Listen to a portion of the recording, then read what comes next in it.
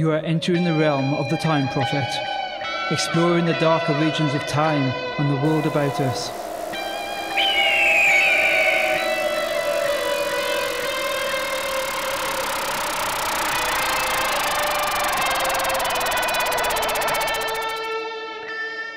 Time Prophet, you are the enemy of the Daleks. Leave this world or be destroyed. Exterminate! Exterminate!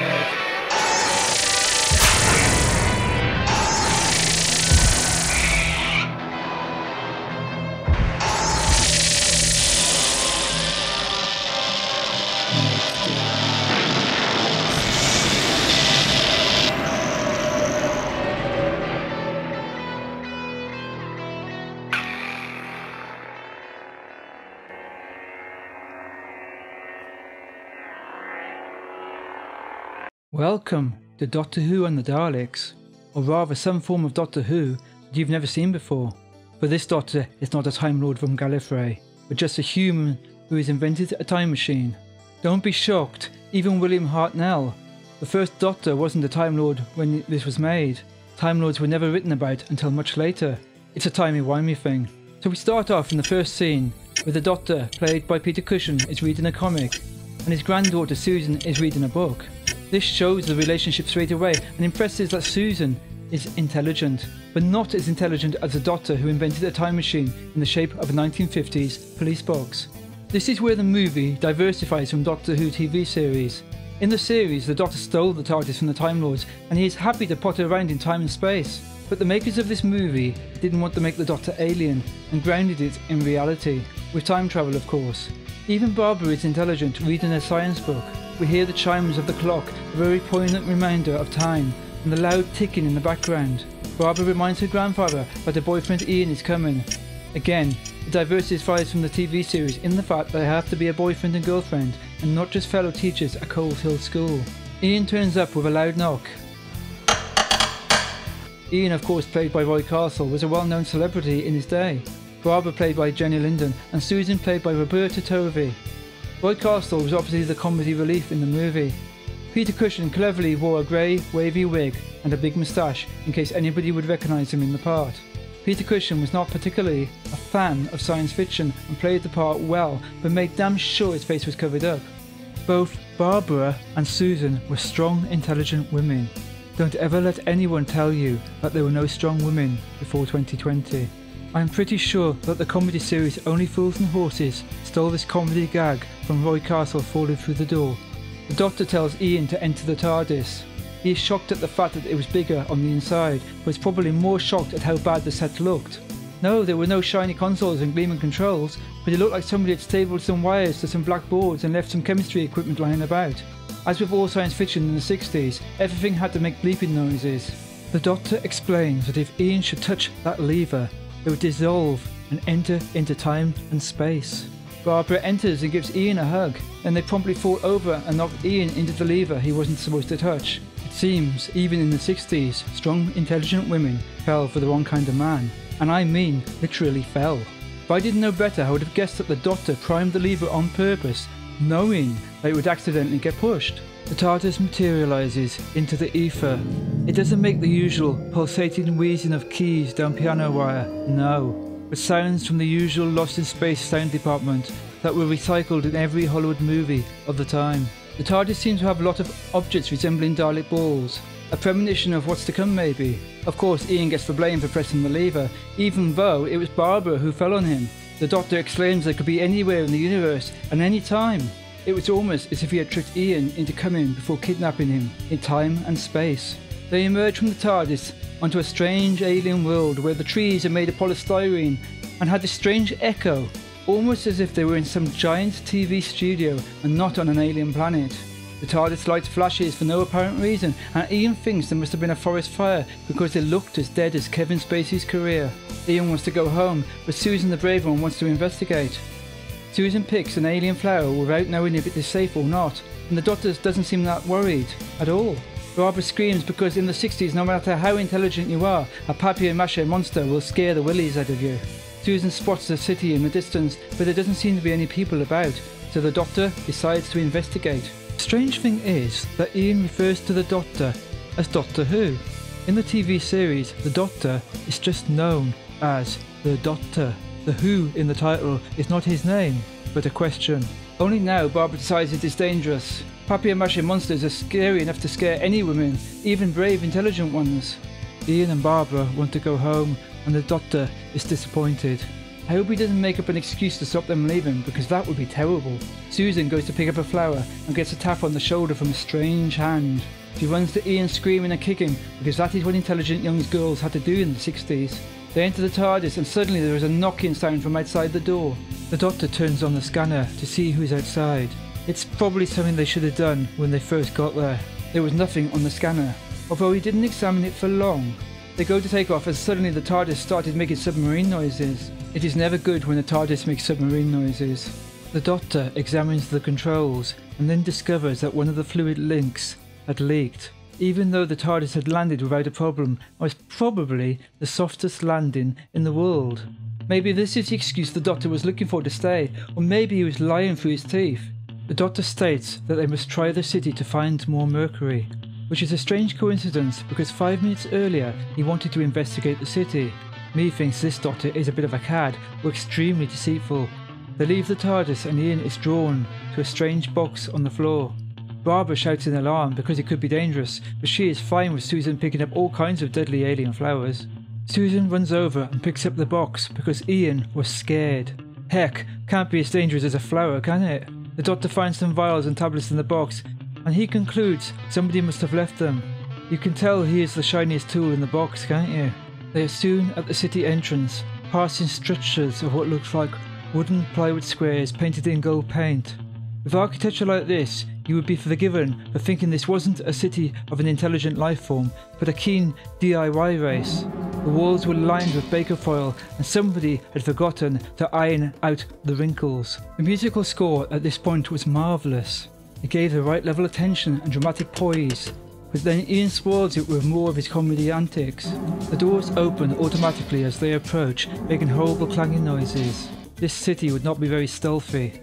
Ian gets locked outside because that is the job of the comedy relief. Barbara walks through corridors of corrugated plastic because the set designer got them cheap at the local DIY store and decided that the future is corrugated plastic. The door only seems to open for Ian when he sits down. The problem is, is this. Daleks can't sit down, so the Daleks would have a real big problem getting through this door. Barbara walks through a room full of Dalek eyes in the wall, and yet not one of these eyes sets off any alarm. Barbara walks into a room and the doors close around her. Barbara screams, and due to the bad insulation in the city, the Doctor and Ian hear her scream outside. The Doctor, Ian and Susan run through a door in the direction of her screams. Unfortunately, this door doesn't let them get very far and leads them to a dead end. So they end up having to double back and go through the door that only opens when you sit down. The Doctor gets Susan to sit down, and then she has to run through the door. The Doctor and Ian manage to hold the door open long enough for Susan to run through. In a million years, the Daleks may one day have the technology to learn how to sit down, and then they can use that door too. They all walk past a random piece of technology in the hall. I don't know where they are, but whomever lives in this city is not very tidy at all. This walking around corridors happens for a considerable time in the movie. After a few regenerations, the Doctor will learn to run through a corridor. Susan holds her grandfather's hand, because at this time in cinematic history, filmmakers were not trying to destroy the family unit. The doctor finds a measuring device which tells him that the planet has a very high level of radiation, and of course, for some reason, it is written in English. The doctor then reveals that there is nothing wrong with the fluid link. The doctor was a little liar. The control panel is on a giant revolving thing which looks cool, but is totally impractical in an emergency. Then comes the great reveal. The camera pans out and we discover that the city is inhabited by the dreaded Daleks. The clue is in the name, by the way. I think if they called the movie Doctor Who, then maybe we would have been totally surprised to see the Daleks. But I think we all expecting them to show up somehow. The Daleks were very colourful because the movie was filmed in Technicolor, and they really made the most of it. These Daleks were better than the ones in the TV series because they had bigger lights and huge bumper stickers. Then the door dramatically opens and two more Daleks appear, the deadliest species in the known galaxy, and they make sure these humans will not get in their way. Even so, Ian tries to run away and a Dalek non-lethally squirts him with his fire extinguisher. The Daleks in this movie were about as lethal as a boiling kettle. They even say Ian will recover shortly. These are not the Daleks I know from the TV series. There will be no recovering if one of these Daleks got hold of you. A Dalek searches the Doctor and it is lucky that the fluid link is long enough, or there would have been no chance of that Dalek getting it out of his pocket. Barbara is alone and terrified. The hairspray in her hair is enough to nullify the effects of the radiation. Finally, the Daleks reunite Barbara with the rest of them. The Daleks want the drug that the Thals have, so they can leave their protective shells once more. I do not think that the Daleks had looked in a mirror for a while, because this would be impossible. The doctor says the people outside the city must have produced some form of anti-radiation drug. Little did they know, the Daleks were listening to every word. The Daleks tell the doctor that the Thals are horribly mutated, and yet again they really need to look in a mirror. The Daleks tell Susan to get the drug, as they will die without it. I'm not entirely sure how a Dalek would use this drug, as I don't believe they have a mouth anyway. The Daleks lead Susan out of the city past stylish silver paper tastefully glued to the wall. I am not really sure of the purpose of this paper. I mean, the Daleks are not well known for their art. I hope the Daleks don't get foiled again. The Daleks lead Susan out through the door that only opens when somebody sits down. I am not sure how they opened the door. Susan climbs down a pile of rocks, safe in the knowledge that the Daleks couldn't follow. They don't learn to fly until the 1980s, so she was safe for a few years. The Daleks tell each other that the humans won't be getting the drug, they are only using them. The Daleks say, let them die, although in this movie, the Daleks are incapable of killing anyone with their nasty fire extinguishers. Susan goes in search of the Thals and the cure for the radiation. She is chased by a figure in a strange cloak. The cloak parts and we see the Thals for the first time. Not only have they developed a cure for radiation in a dead forest with no tools, but they have also developed a particular craving to heavy eyeshadow and mascara. The Thal speaks with his distinct, upper class English accent. My name is Alydon. I am a Thal. I tried to speak to you in the forest just now. He walks into the TARDIS and ignores the fact it was bigger on the inside and had wires glued to the wall. Alydon the Thal gives Susan the needed drugs and a second supply, knowing the Daleks would steal everything for themselves. Susan couldn't understand why the Thals were not mutated, and she obviously ignored the heavy eyeliner and the extended eyelashes. If they called us monsters, what must they be like? The Daleks saw through Susan's plan straight away and let Susan give the drugs to her friends. Strange how the Daleks suddenly have the concept of friends. These are not the Daleks that I know, the ones who would exterminate at the drop of a hat. The Daleks say they don't need the formula now the girl has bought the drug, they can make it themselves.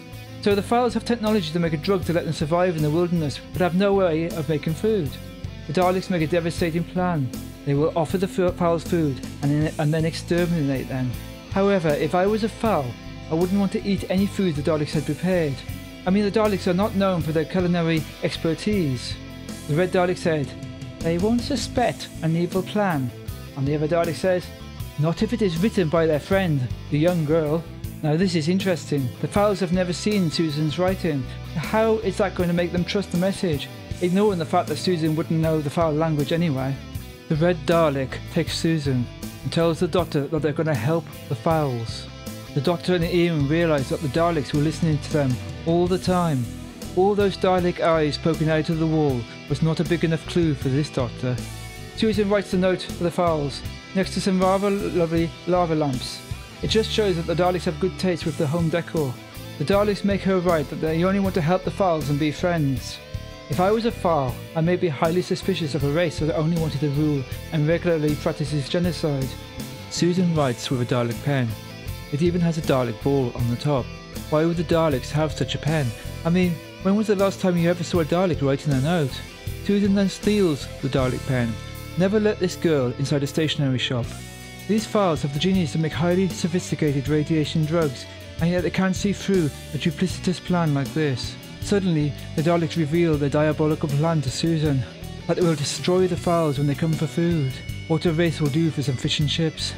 Susan uses the pen she stole to pull out the Dalek eye embedded in the wall, and the Daleks now decide that the prisoners are intelligent. The Daleks decide not to exterminate the main actors because the movie would end but they have no problem exterminating the Thals with their fire retardant weapons. Susan, who is the master of the obvious, tells them that the Daleks are bringing the Thals into a trap. The doctor says the Daleks have weapons that can paralyze or destroy. These are not the Daleks of old. The Daleks do not normally bother with the paralyzing stage. Susan says we're all doomed. and the Thals say that if the Daleks have food, how can they refuse us? A Thal gives the letter to Alydon. Alydon says the letter is from the young girl. How he knows this I do not know, as he's never seen her writing before. The letter said that the Daleks would leave them food and make friends with them. These Thals must be the most gullible race in the cosmos.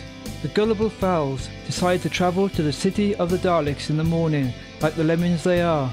Also, what kind of food can they expect from the Daleks? I mean, your average Dalek will not be eating steak and chips. They probably have processed nutrients or porridge or something really inedible to humans, or Thals for that matter. Alydon says there is simply no reason that the Daleks don't want to make friends. Apart from more or less destroying the planet and leaving what is left a radioactive mess, the stupid is strong in this one. The Doctor discovers that the war on the floors are made of metal, and Ian thinks they run around like dodgem cars at the fair. yes, the Daleks are basically dodgem cars with balls, and they drive around on not any electricity that we know, but some form of static electricity, said the Doctor. Obviously, the Doctor has not come across balloons on planet Earth. The Doctor says if we can insulate the machines from their power source, then they would be useless. Susan offers her cape as a way to do the insulating, because the Thals, who have no technology, have a way to manufacture rubber capes. The Daleks bring food to the prisoners. Now, for some reason, the food looks like multicoloured porridge. Why would the Dalek chefs bother to make it multicoloured? It's only a nutrient to them. Anyway, Barbara uses this nutrient to blind the Dalek while the others push him onto the insulated material, which of course disables the Dalek, the most dangerous species in the galaxy, defeated by a cloak and no dagger. The Doctor and Ian remove the creature from inside the Dalek, and the Doctor tells Ian to pretend he is a Dalek, because for some reason there is plenty of room inside a Dalek, even though it was designed for some squiddy looking mutant. As they all leave the corridor, a squiddy looking hand pokes out with some rather alluring nails. The Dalek realises that the prisoners are trying to escape, but the Doctor disables the door. The problem is that he can't get Ian back out of the Dalek. The Daleks start to burn through the door, and Ian can't get out. What will they do next? They can't push Ian into the lift because for some reason Dalek lifts are a bit dodgy and it hasn't quite stopped in the right place. Masters of the universe and the Daleks cannot build a working lift. Ian tells the others to leave him and they do without much argument. The Dalek burns through the door and there is Ian. He fires and blows up Ian's Dalek, but what a surprise! Ian had managed to get out in the nick of time and fled into the lift. Now, as I see it, there is a problem with the Dalek lift system. The first problem is that they only have one lift in the whole city, and the second problem is this it takes about 30 or 40 seconds for the lift to go up. So, if there was a battle, it would take the Daleks literally 10 minutes to get 10 Daleks out of the lift shaft, as only one Dalek can enter the lift at a time. I propose a much better system that would get the Daleks out a lot quicker. My system could get a whole pile of Daleks out in a matter of seconds. The lemmings, I mean Thals, head into the city. The doors all open, inviting the flies into the spider's trap. The food is all piled up in brightly coloured boxes that look like the Daleks shop in IKEA or something. Again, the music is excellent and gives you the feeling of awe and terror, but pity the multicoloured swap shop Daleks ruin the illusion. The Thals appear to be carrying yokes made out of wood. These yokes could not be made out of brittle wood, and so trees must be growing and must be strong. So if trees can grow, so could food producing plants. Also, on a similar subject, the Thals are wearing machine made clothes. Remember, the war happened centuries ago, so they're not wearing clothes from the past. They must have sewing machines or a method to manufacture their clothes, and yet they cannot produce food. The doctor shouts a warning to the Thals, and suddenly they believe him, even though they totally ignored his advice before. The first Thal faces the Daleks, and they use their fire extinguishers on him, and kills him straight away. The only time in this movie where the fire extinguishers actually kill anything. The rest of the Thals just run away because the Daleks forgot to close the outer doors. Usually in a trap, closing the door behind the trappee is a requirement. So the Thals run away and the Daleks can't follow because they can only travel on metal. Alydon couldn't understand why the Daleks wanted to kill them. You are different from them, and they are afraid of anything different. The Doctor explains that the Daleks hate them because they are different. I am not sure why the Doctor is explaining why the Daleks are bad to the Thals. I mean, the Thals should be telling the Doctor. The Doctor has only been here literally five minutes, but they have had to live with the Dalek tyranny all their life. Alydon says they are a peaceful people, and they see no reason to kill others. The Daleks have developed the drug they stole from the Thals, and now finally they can leave their protective shells and wage war on the Thals. Somehow I don't think the Daleks have looked in the mirror for a few centuries because unbeknownst to them, their new form would not scare a sausage or a Thal, and would definitely not be in any condition for combat.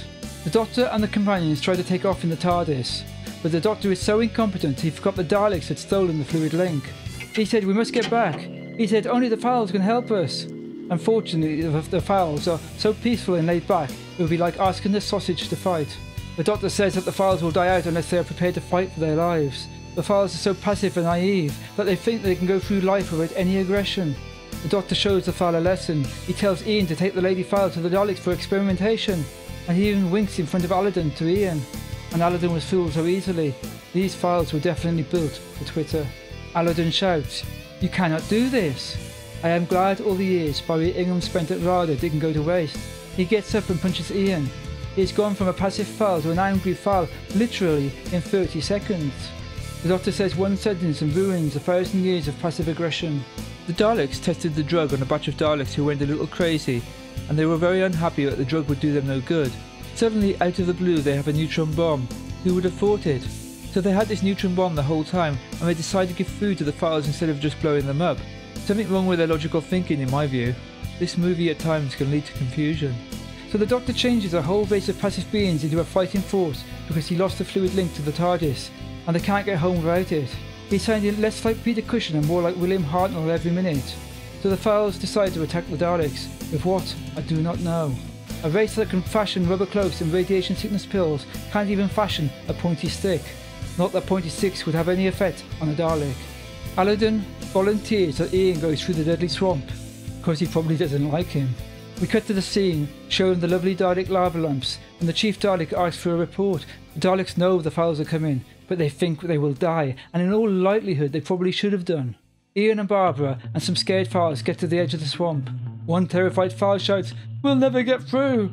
I will give you one guess as to which Thal doesn't make it through the swamp of the mutants. Barbara wants to rest because even though she is intelligent, she had very weak legs. Ian, who is not intelligent, decides he could do with a wash in a deadly swamp full of mutants. But luckily they find pipes instead of mutants and decide that this is the way into the city.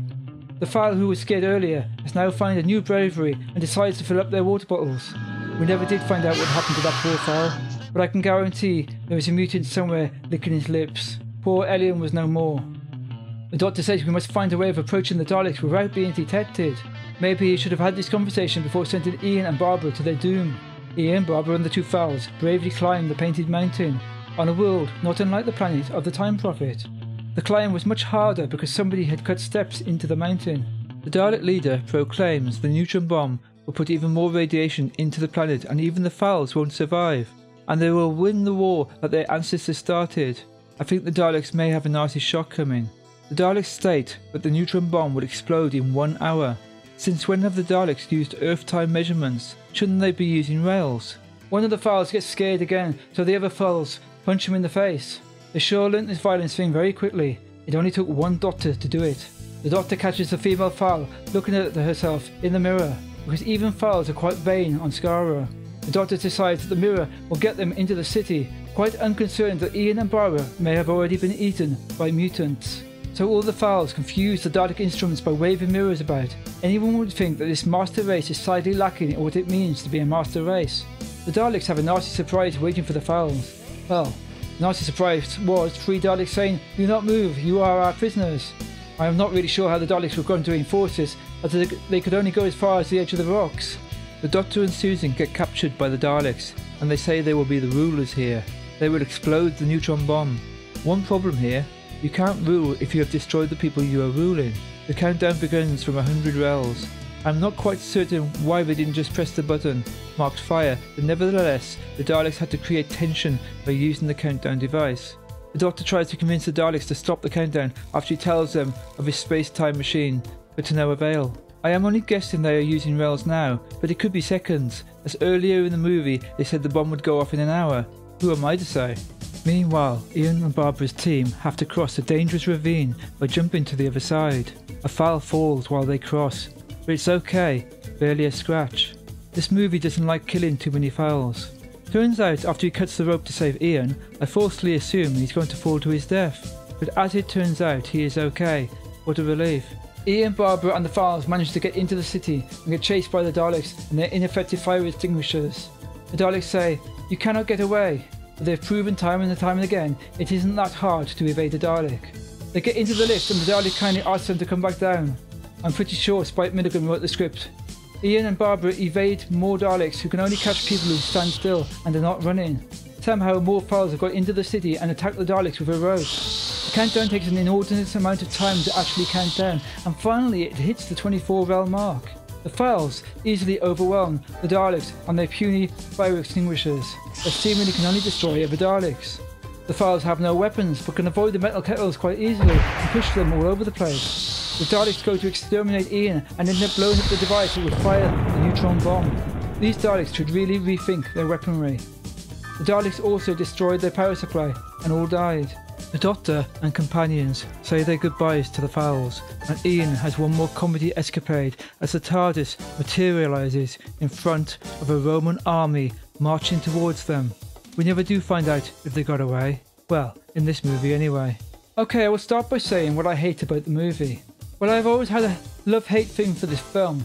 On the one hand, I love Doctor Who and I love the actor Peter Cushing, but on the other hand, it is obvious the movie was aimed at the younger end of the, end of the market. It doesn't take too much to pull the movie apart plot wise. I don't like the Dalek dialogue. Some of the things they say does not seem very Dalek like. I don't like the fact that the Daleks use fire extinguishers for guns and the fact that they cannot aim for toffee. I don't really like the relationship between Ian and Barbara. I prefer it when they were just acquaintances, like in the series. I can forgive the Doctor being human rather than a Time Lord as the movie writers only had a couple of Hartnell episodes to work from, and Time Lords were not even mentioned until the Troughton era. On to what I love about the movie. I love the fact that this and the following film is the only movie that features the Daleks. I love Peter Cushing. I don't think Peter had a love for Cypher, but he played the part well. Roy Castle, who wasn't really an actor but a comedian, did well in the role.